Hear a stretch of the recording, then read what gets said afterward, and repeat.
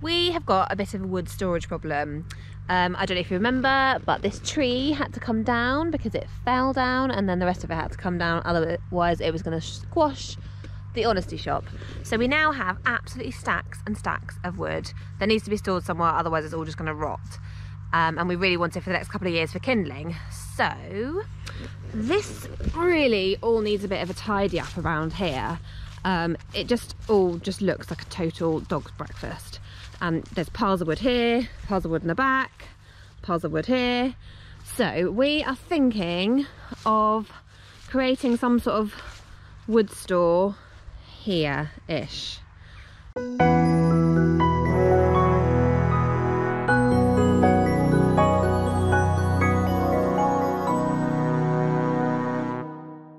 Yeah, no, I'm sure we can do it. Okay, well let's get the... I think let's just start leveling it all out and getting the base done. Yeah. So Brian's just going to mow this section so we can see what we're doing. We would normally use the ride-on, but it's in having a service.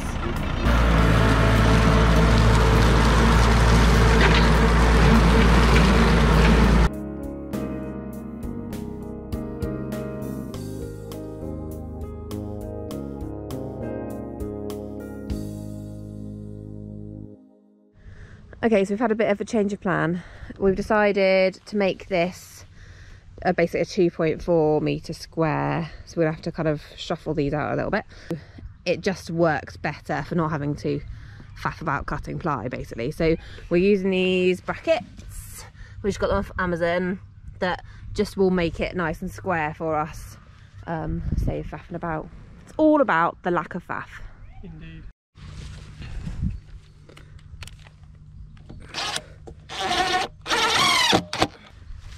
I've decided to take over the drilling and the screwing because Brian keeps trying to put screws down my bum crack.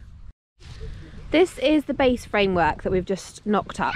This is literally how it's going to be. We're going to lay all of these longer pieces of wood along the bottom so nothing's going to fall through. It's long enough that we can just lay that all the bottom and then lay the rounds on the top. So now we're just, it's a bit bigger than we'd originally done our base because it's two, basically 2.4 metre square.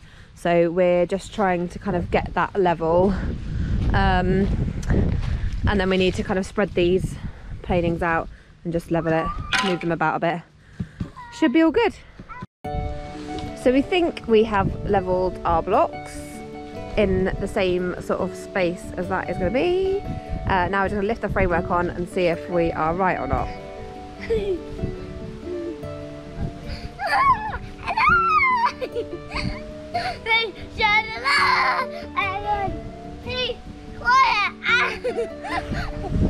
I showed. Now, go. So we're just working out how many extra noggins that we need to put into our base here. Given the amount of weight that we're going to be putting in here, I think it's going to need quite a few more. So we're leaving the floor with the hole so that airflow can come up through and dry the wood out. So these two trees were taken down this year and so they won't be ready for most probably another at least a year or so and then we can start splitting it and then using it on the glamp site for wood. So we've finished doing all the base and putting all the extra bits in to make it nice and strong and now we need to work out the angles. So yeah, so what we've done is we've measured the length of this and that comes out at 250 centimeters. So what we need to do is we're going to work in right angle triangles. So we know that half of that is 1 meter 25 so we I use this one here just on the internet. It's a right angle triangle calculator. And what I do is I know that we're using spans of 2 meters 40 uh, piece of wood. And so from that I can then work out the length to the 90 degrees up. That'll then give me the angle from there to there. And it turns out that this bottom angle here A needs to be 58 and a half degrees which we'll chop on the miter saw and then we know that the top one up here needs to be 31 and a half degrees. So that one plus that one plus the 90 degrees up there should give us 180 degree angle in total which is a triangle. Cool. so yeah let's get chopping and hope that it works to get this angle of 59 degrees that we want in this corner, we have to set the chop saw to 31 degrees um, and cut these all at 31 degrees. So that when we put that up there, that's going to give a 59 degree angle. Um, and then we'll cut the other end to 59 degrees, which will give the 31 degree angle. There you go. All fun and games. Now this is the other fun part of angles. In order to cut the other end as a 59 degree, um, we need to, obviously the chop saw doesn't go up to 59 degrees. So we need to cut a 45 degree angle, which Brian's doing now. Okay, so here we've got the 45 degree angle. We've set this to 14 degrees so that this is going to make a 31 degree cut, which uh, you can use this handy dandy gadget to tell you that, that you've got it right basically and then when that up there is at 31 degrees then the angle void will be the 59 which will make you the triangle so having cut it we've got that one on the end there and we come up and I'm quite happy with that. It's no gap there. And if we come down on this side yep that's at the end there as well. Would you believe it? Mathematics worked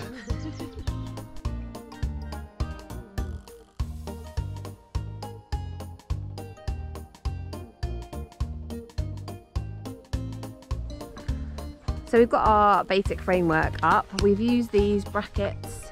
Um, they're just flat brackets that we got off Amazon um, just to kind of reinforce and pull them all straight. Um, and now we're just doing these extra beams just to tie them all in together. So we're going to do three on each side. You can now sort of see the structure of this um, A-frame log store. Uh, but we've run out of 4x2 now, so we have to go down to Wickes. 2x4 surely. I said, in America it's 2x4, in Somerset it's 4x2. Oh, is it? Yeah. Is that why everybody thinks that we're American and here in England? I'm going to start calling it 4x2. No, yeah, 4x2, yeah. Oh, okay. To be fair, you've got such a muddled accent that really you could be anywhere in the world. Well, pretty much. Lived in Canada, Ascension Island, Tenerife, England, South Africa. And that's kind of why you like the A-frame, isn't it? Because of your connection with Canada and um, you like the kind of American style of houses. I think it's a really great structure. Very simple, nice clean geometric lines. Fantastic structure. So we're just about to put the sterling board on the sides now. Um, so we've measured these to 120 so that we have got plenty of places to screw them in. Um, so I'm gonna try and get it in place. Like there, but my foot's already damaged from when we dropped the base on it. No, it's not gonna work. so not surprisingly, somewhere on the line that we've gone slightly wrong is in we should have had this slightly lower down so that we haven't got this overhanging bit. Um, I wanted to take it off and start again. Brian was like, nah, we'll just chop it off. Yeah, just run a saw along the top. So- you put the other board up there, and then it'll have a much smoother finish because it'll butt up against it. Just run the saw along the top, and then you can clad over the top. Or Yeah, anyway, it never, it never goes to plan. So yeah, we're gonna get the other two boards on and then we can also do the cladding at the back as well. now this, I think, is a nice log house. This this is a, we had quite a few comments on our A-frame cabin which is a home office, not to live in. um, that it's a really nice house for a dog. Um, somebody else said nice for two-legged legged dogs. Yeah, no. Uh, whatever. That's a dog house. Actually, it's not a look. It's a log store. That's a home office. Yeah, got it. So we're going to do the cladding that goes in the back here. We're kind of replicating the 6x1 castle boarding that we did on the A-frame, but we're going to leave air gaps. So we're not going to overlap, we're just going to leave gaps just to let the air circulate through so the dogs don't rot out. Okay, and now the moment of truth. Let's see if it fits. Let's. Oh, that's not too bad. That's all right. This is turning into an absolute nightmare. The angle is so steep that we can't chop it on the chop saw, or at least we can't figure out how to chop on the chop saw. So we No, end it's up. just not long enough. Otherwise, we could. Okay, the chop saw doesn't give enough long enough, whatever. So um, we're having to cut it with the circular saw down there. We keep getting it wrong, like we've measured that too small. The angles aren't like perfect. but it is a log store. Let's not panic. So we finished all the cladding. We're leaving gaps to let the air flow through and we're just putting a bit of trim at the bottom like we did with the cabin so that it sort of neatens it up and ties it in and then we can paint this the same grey as we did that. So um, thank goodness this cladding is only finished. It wasn't as bad as we thought. Once we'd done the first angle, we could just use that as a template and then run it along with the um, circular saw. So it wasn't too bad. Um, we just had a bit of a block on it. So now we've got that done. That's really good. And now we can just stick the roofing felt on. This morning we're going to finish off felting the roof. So we did this side as a practice because we have never felted a roof before, believe it or not. Um, and now we're going to show you how we did it uh, rightly or wrongly, but we just literally followed the instructions. So we've got the this roofing felt adhesive, which you have to paint on. It's like really thick, gloopy stuff. Um, and then you have to leave it 15 minutes to get tacky. And then we've just got normal green shed felt um, to just lay on and we've done it like this so that the rainwater will nicely run off and not get underneath. So uh, let's get painting, shall we? So it's really, really, really gloopy. I think probably that'll be the end of that paintbrush by the time we finish with this. So I think it will be. Um, I'm sure there must be an easy way to do this, but I'm not sure. well, bigger paintbrush, roller. I suppose we should have watched a YouTube video on how to do this. But Yeah, so don't necessarily take what we're doing as gospel because you know we don't really know what we're doing half the time. Brian is testing out a technique which um, is actually, I think, creating more mess for himself. I mean, I don't mind, I'm clean. Um, but he is now completely covered in this uh, tarry stuff. So, paintbrush, roller, possibly not a book- block of wood, but if you have any suggestions, please leave them in the comments because we love to read all your comments about um, how suggestions not to do things. how not to do things, um, how we could do these things better, and you know, for the benefit of other people who might be watching this, um, read the comments because there should be hopefully some better insights. But at the same time, don't just say you've done it wrong. If you're going to say you've done it wrong, please tell us how we could have done it better, because then we learn from it. Um, can you tell we're slightly bitter about the uh, the A-frame comments? Uh, feel free to go back and look at the video and uh, read the comments. so it's all covered. Brian's technique actually worked quite well of the spreading with the wood. So yeah, all good. Um, so we've left it at 15 minutes and now we're just going to um, lay out the roofing felt.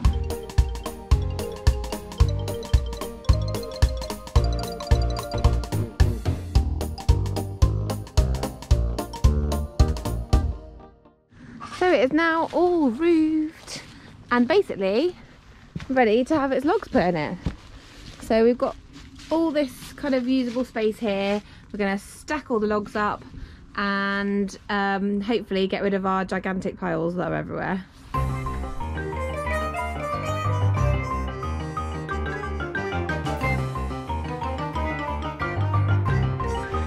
How are you doing in there, Vicky? I thought the hard part was building this thing. Turns out the hard part is putting the freaking logs away. Well, I think we need to split them. But we don't have a log splitter. Hmm, well, we're going to have to split them at some point, whether that be now or in the future. I know. It'd stack a hell of a lot better if they were all split. Okay, whatever you think. you look broken. Yeah, I'm like disgusting. I need to go get changed. Oh dear. So it's a Saturday night and we're really excited because we've just bought a new log splitter because um, we need to try and fill up this blooming log store and it's not working with the massive rounds. So we just spent the last, I don't know, hour and a half Hour. building the thing, lost. which was a bit of a nightmare. But Um, the results are pretty good. See? Stand back, please, William.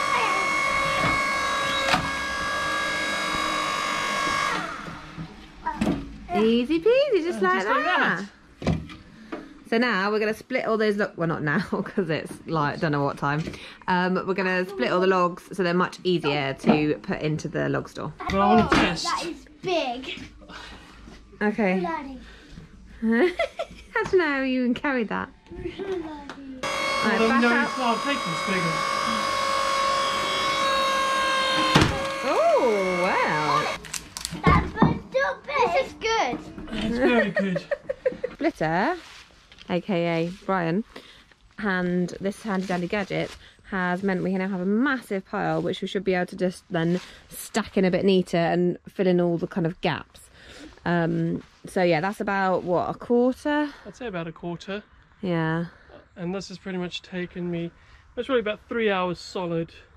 yeah. So we've got a lot more to do, but we can do it gradually. Well, this is it. As long as we can get the, the bulk in now of this, and then we'll just keep bringing stuff over. I can even take the splitter to where the stuff is and then just put it straight into the tractor bucket. And then we can bring it over here, dump it. But yeah, true. I think it'll be a work in progress over the next couple of weeks. Yeah, and then imagine when this is all filled up with beautiful. yeah, laugh it up.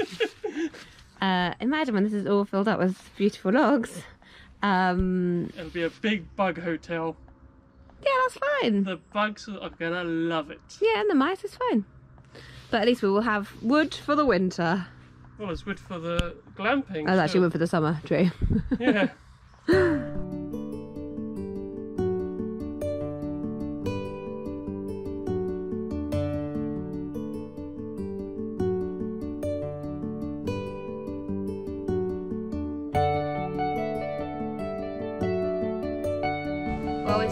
days and days and days splitting logs. It's not quite full up yet, but we're getting there. Um, you get the gist. So we're going to try and fill it all the way up. But it's amazing actually how much this log store can hold. I was a bit surprised. I know lots of you will be saying, oh, why didn't you just build it with straight sides so it's square so you could fit more in? But it's purely for aesthetics. For to build an A-frame that matches our cabin build. Um, if you want to watch cabin build, the video is here. And if you liked what you see, please like and subscribe to the channel. And we look forward to seeing you again soon.